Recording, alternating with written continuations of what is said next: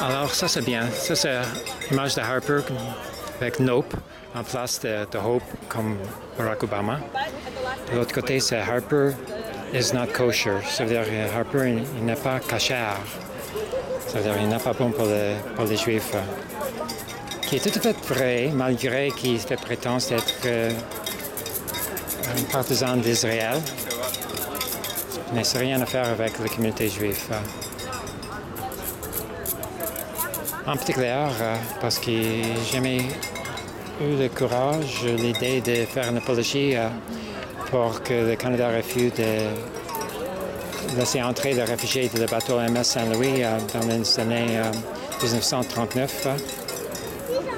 Et ces réfugiés s'étaient retournés en Europe et un tiers qui était mort dans le camp de mort.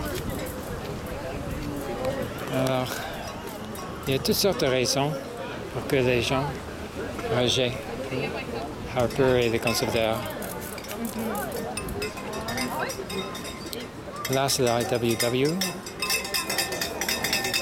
Council of Canadians.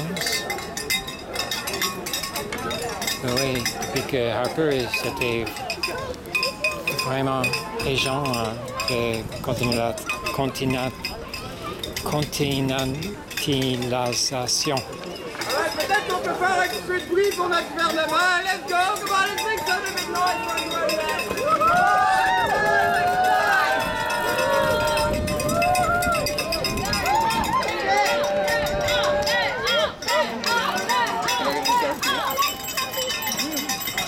Time for change.